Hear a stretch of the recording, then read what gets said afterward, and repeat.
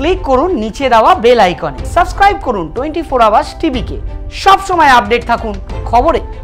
হেমতাবাদের BJP বিধায়কের অস্বাভাবিক মৃত্যুর প্রতিবাদে দক্ষিণ কলকাতার সভাপতি সোমনাথ ব্যানার্জির নেতৃত্বে ওবিসি মোর্চার জেলা সভাপতি হরিশ শাহ জেলা সম্পাদক পারমিতা রায় ও বিজেপি কসবা মণ্ডলের সভাপতি রূপেশ সিং সহ অন্যান্য বিজেপি কর্মী সমর্থকেরা কসবা থানার সামনে বিক্ষোভ দেখায় ও পরে থানায় একটি ডেপুটেশন জমা দেয়।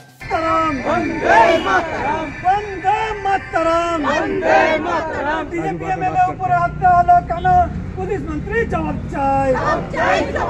আহমেদাবাদে বিজেপি এমএলএ কে নির্মমভাবে হত্যা করা হলো কেন? পুলিশ মন্ত্রী জবাব চাই।